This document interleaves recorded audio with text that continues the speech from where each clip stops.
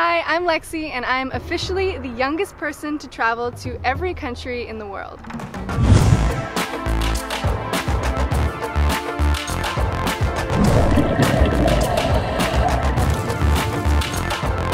Breaking a Guinness World Record is a lot more complicated than you would think. To be able to prove that I had been to all of these different places, I needed to submit passport stamps, visas, plane tickets, train tickets, taxi receipts, accommodation receipts, every single piece of paperwork you could ever imagine, as well as getting two signed witness statements from people I met within each and every country. That's almost 400 witness statements. It actually took me six whole months to finish my 7,000 page evidence documentation for breaking this record.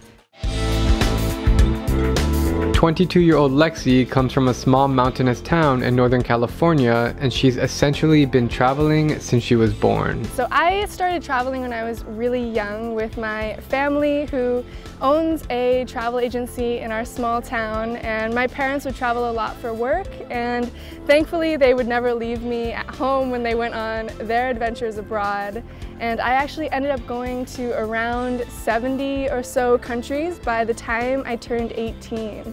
Contrary to what it may seem, Lexie did get an early college degree and first heard about the youngest person to visit every country when she was on a gap year. Two months into my gap year, I realized that I wanted to make something more out of my travels and I was wondering who was the youngest person to travel to every country. And that's when I looked up the Guinness World Record and I found that the current record holder was 24 and a half and I was 18 at the time. So I have to ask this question. I get a lot of comments that are like, oh, but if you were a girl traveler, you wouldn't be able to do this. And I'm always like, no, I have many friends that are girls that travel that go to Yemen by themselves. What is your take on solo female travel? Yeah, I am a very strong advocate for female solo travel because it's been something that changed my life so much and empowered me so much as a woman and one of the things that I wanted to learn when I was traveling to every country was is it possible for a young woman to do this and thankfully I found out that there was more kindness in the world than anything else and I was welcomed in every country without having any serious problems that were anything that wouldn't have happened anywhere else in the world. Do you think it's significantly more challenging to do it as a female than a male? I wouldn't say that it's significantly more challenging. If anything, I feel that, especially when I was filming and everything, a lot of people feel less intimidated by the presence of a foreign woman than they are by a foreign man. So I think that there are a lot of different advantages and disadvantages, but I had actually two rules for every country that I went to traveling as a woman. One of them is that I do not get intoxicated while I'm traveling by myself. So no drinking, no doing drugs or partying, anything like that. And I also don't go out at night by myself. Typically, travelers get in the worst kinds of situations when they're you know, drunk by themselves at night. So, and those thankfully are really avoidable situations. I've always said that travel is the best education that one can get, and for Lexie, it's just incredible how much perspective she's gained at such a young age. I think that traveling when I was so young made me mature more quickly uh, because I had so many different perspectives on the world from what, what life is like in rural Thailand to what it's like in Dubai. So it made me really grateful for uh, everything that I had at home. It's been super cool to meet Lexie in person after being online friends for so long. She's one of the most awesome, fearless, and courageous travelers out there, and we surely will never run out of things to talk about. Lexie, where do you see yourself in five years? Now that I've finished traveling to every country, don't want to put another really big like, goal in front of myself. I know that I want to continue to travel and I want to start capturing and sharing these stories to inspire other people to travel as well and hopefully helping to give other people the tools so that they can experience more of our world for themselves. Lexie, what is one message you want to say to the world? One of my biggest pieces of advice for people who want to travel is that you can achieve anything that you put your mind to.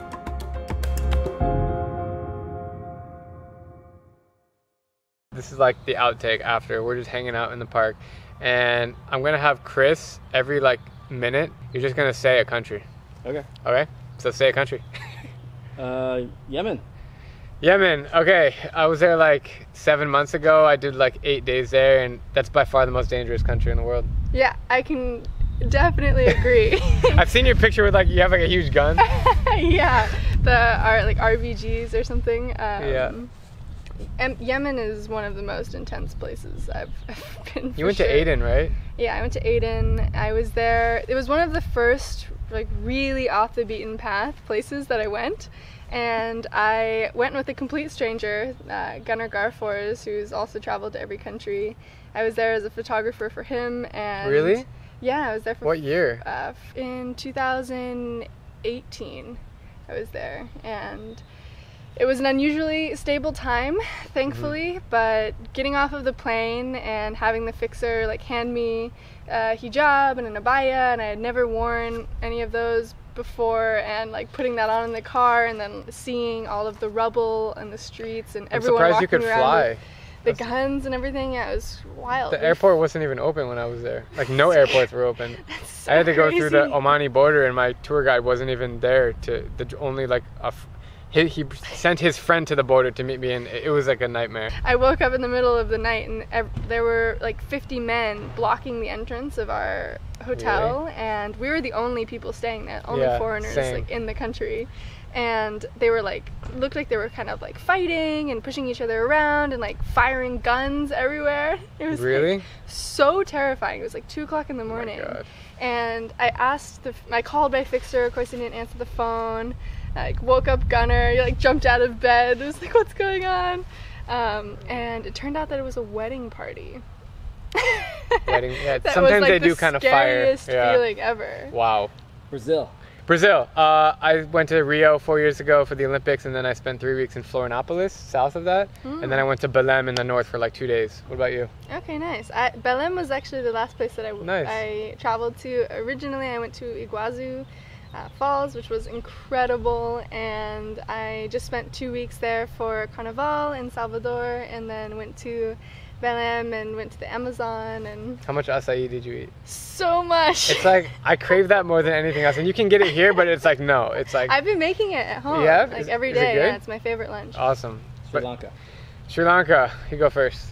Sri Lanka, I didn't have the best experience in because I usually try to go kind of off the beaten path, and I found a national park that looked really interesting instead of doing like the trains across the Right, country. right. And so I took a risk on that, and then I ended up just having like running into issue after issue and kind of wasting a lot of time, which I hate when I'm traveling. Was that the Elephant National Uh, Park? Y- yes. Were there elephants there? There were like there was supposed to be. Yeah, you didn't see any?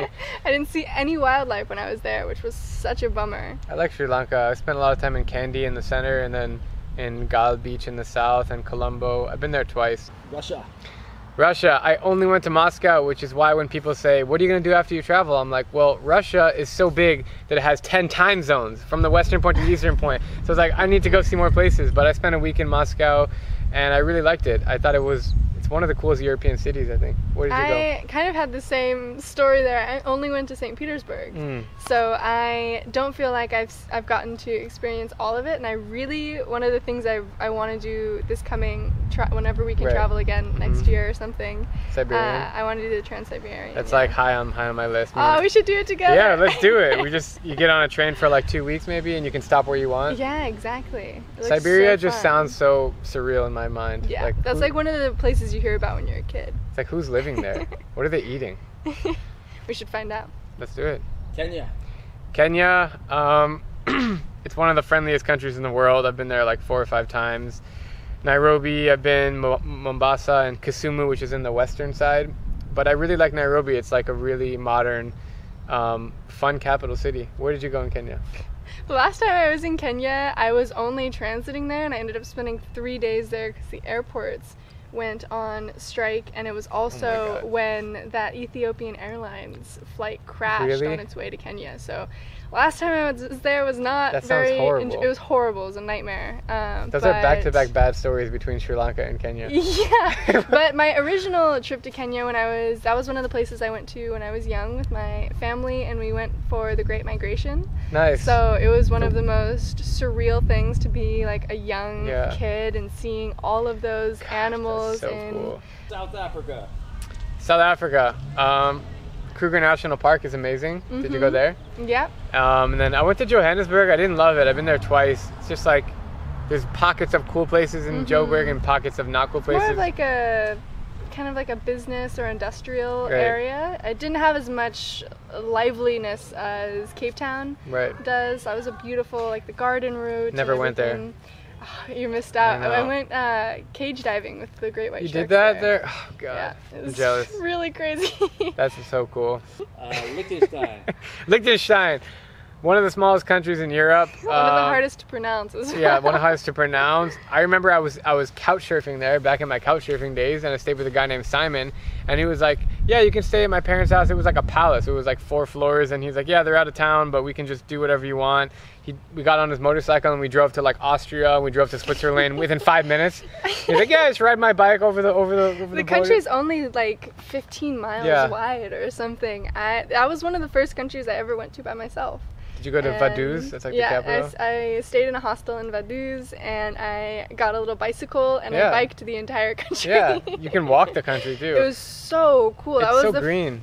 So beautiful and like all of the different castles kind Right. of perched Mhm. throughout it and there's just Right. a whole like cathedral of Yep. mountains It looks like Switzerland. It basically is Switzerland. Like it's right next door. So. Yeah. All right, cool. That's a wrap. Thank you so much. Yeah, It's been was so great to meet you for the first time. I'm Drew Binsky, and if you like my travel videos, please click subscribe and join me as I plan to visit every country in the world.